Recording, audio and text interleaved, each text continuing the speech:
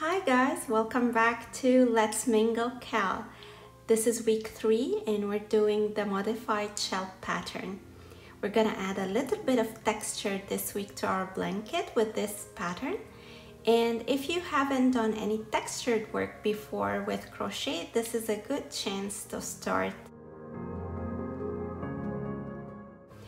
As usual, I'm gonna start with crocheting 35 chains you can always start with a chainless foundation row. You're gonna find the details on my blog. We're ready to start row number one. And these are my 35 chains. I'm gonna skip the first chain close to the hook and I'm gonna start working into the second chain. I will work into the bump, which is an optional uh, start. You can always work uh, or start your first row as you always do. I'm gonna do half double crochet stitches. So I'll yarn over, insert my hook into the stitch, pull a loop, yarn over and pull through all three loops at once. So I'm gonna be repeating the half double crochet throughout the row and at the end I should have 34 stitches.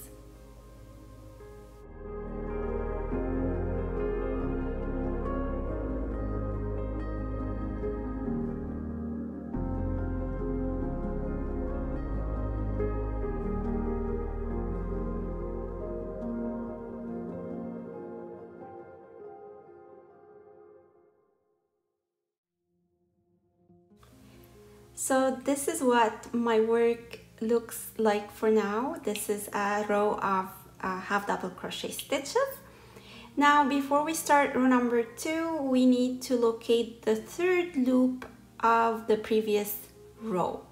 So here we see the V-stitch of uh, the half double crochet stitches. Now if I just turn my work a little bit, I can locate the third loop of the half double crochet stitch where I have inserted my hook. This is where I'm gonna be working my second row. As I turn my work to the other side to start the second row, this third loop will be facing me. So now let's start by stretching our current loop a little bit to the height of a half double crochet stitch and then we chain one. And into the first stitch we locate the third loop and we insert our hook from the bottom up pull a loop and then finish our half double crochet stitch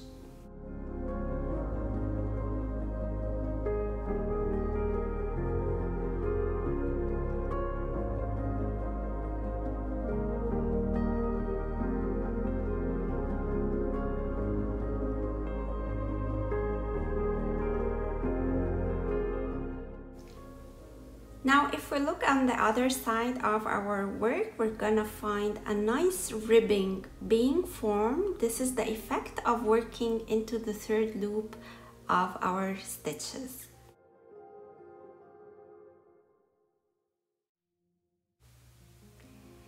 So this is what row or the second row looks like from the back side and this is what it looks like from the right side a nice ribbing has been formed. So let's start uh, the third row. I'm gonna chain one and turn my work to the other side and do a single crochet into the first two stitches.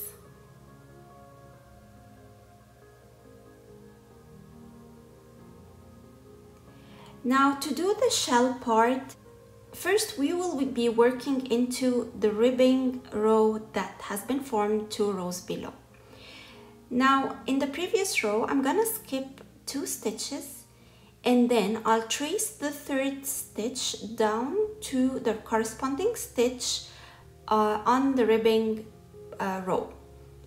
If you can't really trace it, all, all you have to do is count five stitches from the beginning of the row.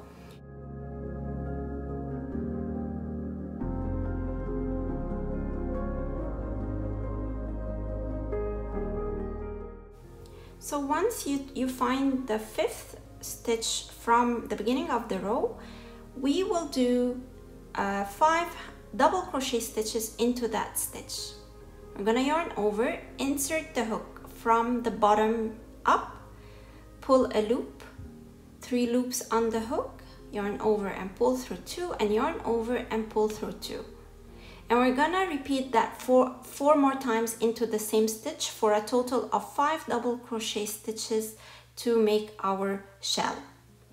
Just make sure that when you pull a loop, you, put, you stretch it a little bit to the length or to the height of your current row so that your tension is not so tight and your work uh, uh, like stays flat at the end of your project.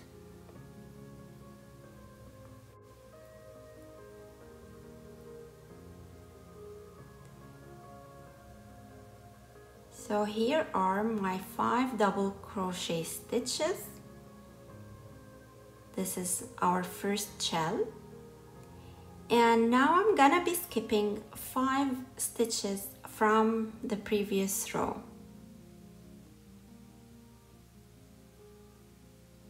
So always double count your stitches to make sure you're skipping the correct number of stitches before you continue your work. Now into the next stitch, I'm gonna do a single crochet.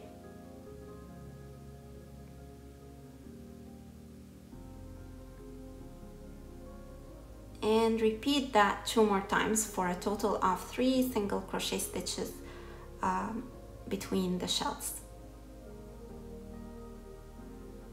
Now we're ready to start our second shell. So similar to what we did in the first shell, we're gonna skip two stitches, trace the third uh, stitch to the corresponding stitch on the ribbing row. And if, it, if that is hard for you, just count seven stitches uh, on the ribbing row from the previous shell and we're gonna be working into the eighth stitch.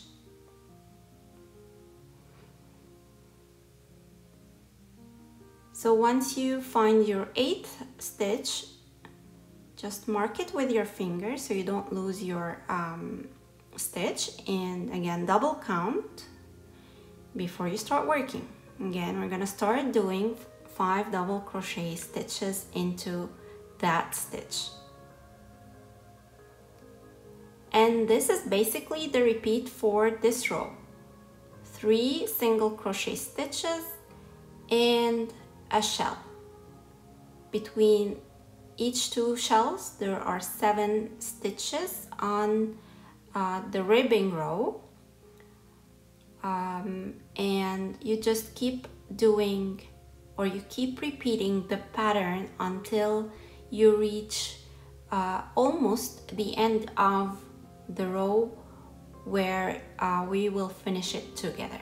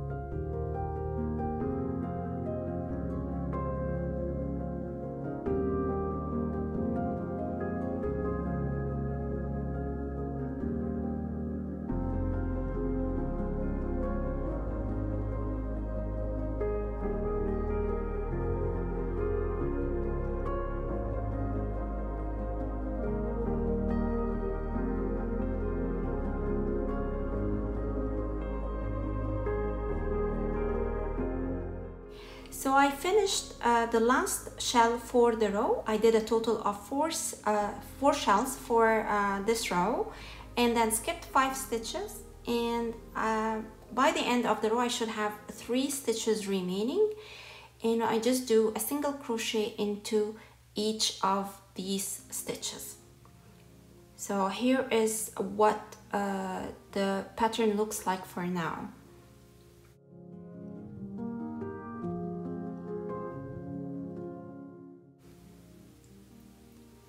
So now we're ready to start the fourth row, which is the last row of our repeat. I'm gonna chain one, turn the work to the other side, and throughout this row, I'm gonna do a single crochet into each stitch.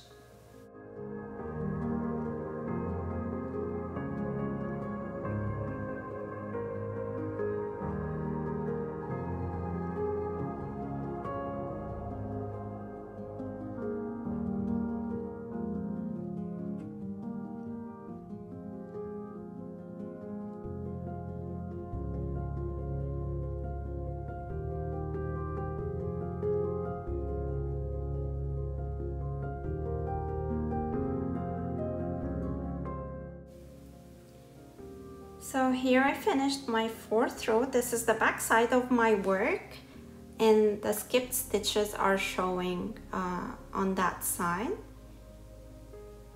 And if we look at the right side, we're gonna see the shells and the ribbing row. It is just a very simple textured pattern and um, it's pretty, uh, I, can, I can say it's um, advanced beginner pattern this is my finished square of this pattern. I repeated the four uh, like I repeated the four rows for seven times to get um, a square. But again it's according to your gauge. Just uh, uh, keep repeating the uh, four rows until you get a square. And once you're done uh, you make or you crochet a border of single crochet stitches all around the square uh, making sure that you add uh, two uh, stitches into each corner uh, to have a flat border on your square. That was it for today's tutorial. I hope you've enjoyed it. Please share your work with me and feel free to contact me if you have any questions regarding this pattern or any of the previous CAL pattern. And um, I'll see you next time. So take care and keep crocheting.